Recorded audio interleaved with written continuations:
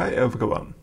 If you are watching this video, you will probably encounter the same situation as I did. You wanted to use SDXL, but your GPU couldn't handle it. Automatic 1111 doesn't work, and the only way to use SDXL is Comfy UI, which I find very ironic because despite its name, Comfy is anything but comfy. I would even say it's the most inconvenient interface out there. And it's not about complicity, it's just inconvenient. If I want to use LoRa, I should create something like this, SDXL with a refiner, something like that. I don't want to build anything, I just want to turn one slider on and have everything work as it should. If you think the same way I do, so good news for you, because in this video I'll tell you about the best alternative to Comfy UI with which you can use SDXL or any stable diffuser model with just one click. Do you want a LoRa? One click. Embedding? One click. Refiner?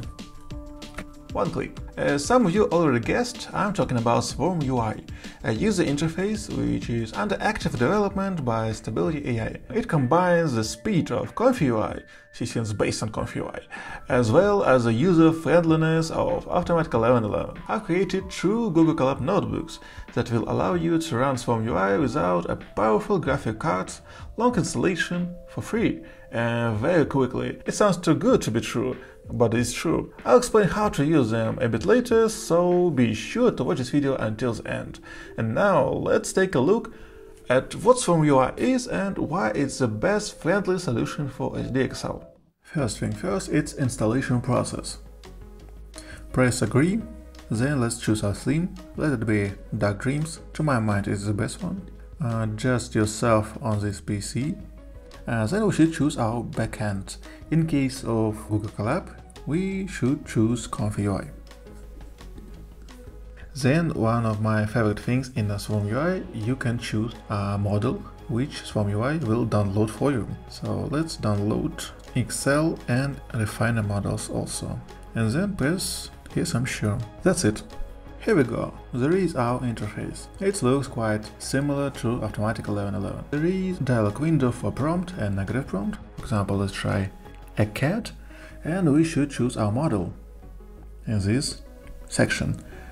In our case, it should be SDXL base model.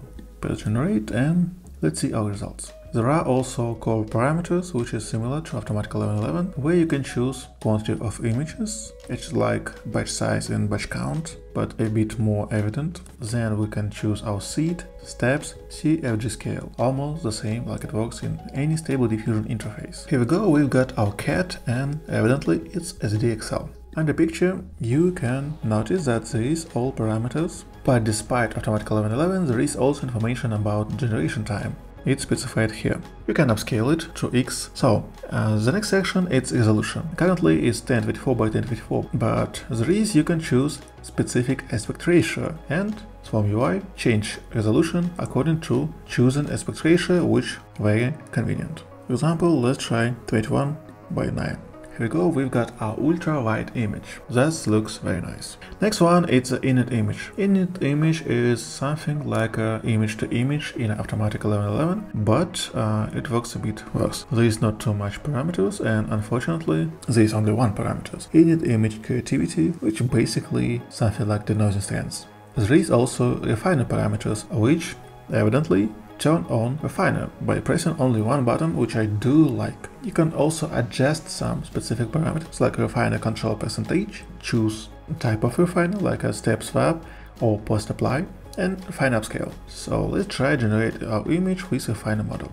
Alright, we've got our image. And according to metadata, we have refiner and refiner method step swap. Perfect. The next parameter is control net. Here you can choose your control net image and ControlNet model. But to be honest, I still didn't test it out, so I think I make additional video about ControlNet and let me know if you want me to make this video. Then it's scoring and Comfy UI. There is also a model section when you could choose your model. Image history, which exceptional convenient, way more convenient than it works in Automatic 1111. In all generated images is saved here, which I do like, because it was problem with Google Colab when you work with a model in a cloud. Next step, it's a preset. In presets, you evidently can create or import new preset. For example, let's create preset cat uh, description and uh, you can specify prompt and other parameters in order to recreate your image, which is very convenient for mass production. Let's save our presets. You can activate these presets by clicking on this icon and you can see there is our presets. Uh, next step it's models. Currently we have only two models with Stable Diffusion XL and Refiner model, but you can add any model you like, including 1.5 and 2.1. Very nice things that you can create folder for your models in your directory. But also you can edit and add metadata for your models, which also good to have in case you have a lot of models. Next step is VAEs. Currently we have only one VAE, it's uh, built-in VAE for SDXL. Next step is tap with LoRa. Here you can choose your LoRa model. In this case I have only one LoRa model, Helen Par. Uh, it's my LoRa model and it looks very very ugly, but it's good for tests. How to activate this LoRa? Just click it, that's it. Here you can adjust strength of your LoRa model and let's try to generate a Helen Par. Woman. Here we go, we've got our Helen Par, or something close to Helen Par, I suppose, but it works. You got general idea. You can add several LoRa models by clicking on it, and they will be here in this uh, section. As I said before, you can also edit metadata here and specify all needed information about your model. Next step is embeddings works the same. Next step is ControlNet, we will discuss it a bit later in the next video. If you will be interested, let me know. And tools. Unfortunately, there is only one tool, Grid Generator. And here we can create our grid, something similar to Automatic 1111. For example, let's try uh, prompt, let it be cat, and for example, CFG scale 10 15 and 20. And now we generate several images with uh, the same prompt and different CFG scale. And we can compare how CFG scale affect on final results. Here we go, we've got our images, our three images with different CFG scale, and now we can compare how CFG scale affect on final results. There is CFG scale 10, as you can see in the metadata, 15 and 20. You can compare different parameters, different prompts, uh, seeds, steps, refiner, without refiner, with refiner, different models.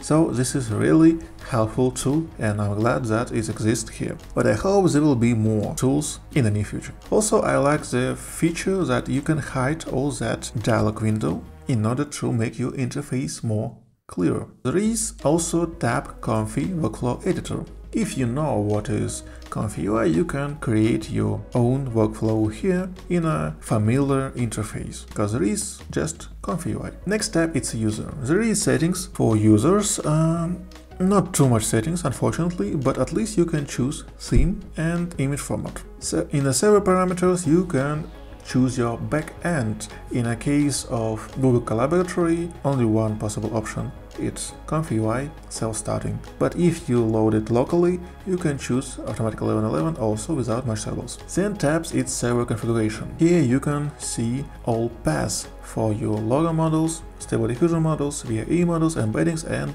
etc. That's it. So that is what all you need to know about Comfy UI. It's not too difficult, there is not too much features, unfortunately it's definitely not Automatic 1111, but it's very good option for those who was forced to use Comfy UI and who suffer from Comfy UI, because Comfy UI, as I said before, definitely not comfy. So really nice to have this option and big thank you to Stability AI for creating such nice user interface, and I wish them luck. I decided to create two versions of Google Cloud notebooks. First one works in the cloud. That looks very simple, you just need to press only one button here and then you should pass installation process, which I mentioned in the beginning of this video. You need just follow this link in this dash rectangle. That's it. The next one works also in a cloud, but all data saved are not in a temporary session, but in your Google Drive account. That's way more convenient because you don't have to pass installation every time. And also I added additional section for downloaded LoRa models, base models, uh, VAE models, and embeddings, control net, almost everything you need to for using Swarm UI. But in this case I decided to make that version paid, uh, still affordable, just about $5.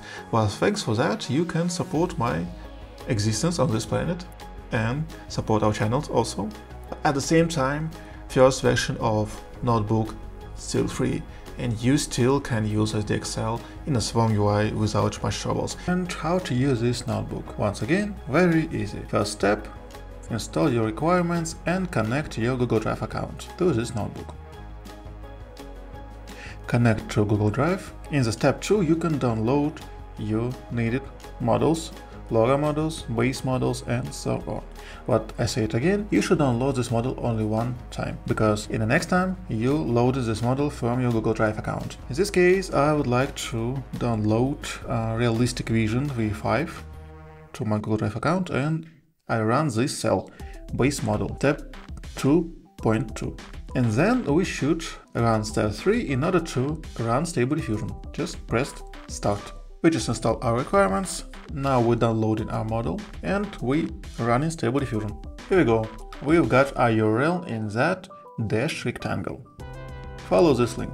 Here we go, we in our web UI interface in a Swarm UI and as you can see there is no need in a installation because I already installed Swarm UI to my Google Drive account and I just loaded from this Google Disk. That's it. I decided to choose uh, Realistic Vision V5 and let's try generate a cat once again uh, using Realistic Vision V5.1. We've got our cat and everything works fine. So thanks for that notebook, you can create your own library with your models, with your presets and save a lot of time on editing on collecting all the data, which is very relevant in case you're using Swarm UI regularly. I hope that this video was helpful for you. Press like button if you agree with me. So, bye bye.